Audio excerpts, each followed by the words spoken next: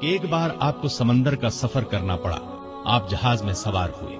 आपके पास एक हज़ार अशरफियाँ थी। एक साहिब ने जहाज़ वालों को आपके बारे में बता दिया कि ये कौन है। लिहाजा जहाज़ वाले आपकी खिदमत में लगे रहे।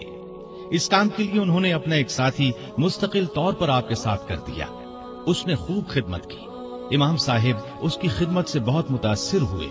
बातों बातों में एक हज़ार अशरफियों का ज़िक्र कर बैठे। एक सुबह उनका साथी सोकर उठा तो चीखने चिल्लाने और सर पीटने लगा और कपड़े फाड़ने की नौबत आ गई। लोग बहुत हैरान हुए। पूछा, आखिर हुआ क्या?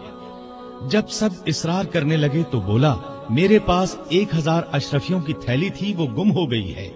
अब एक एक की तलाशी ली जाने लगी। इमाम साहिब ने चुपके से अशरफियों की थैली समंदर में गिरा दी। सबके साथ इमाम बुखारी की भी तलाशी ली गई।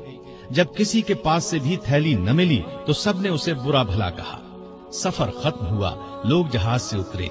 तन्हाई में बात करने का मौका मिला तो वो शख्स उनके नज़दीक आया और पूछा, आपने तो बताया था कि आपके पास अशरफियों की थैली है? फिर आपने उस थैली का क्या किया?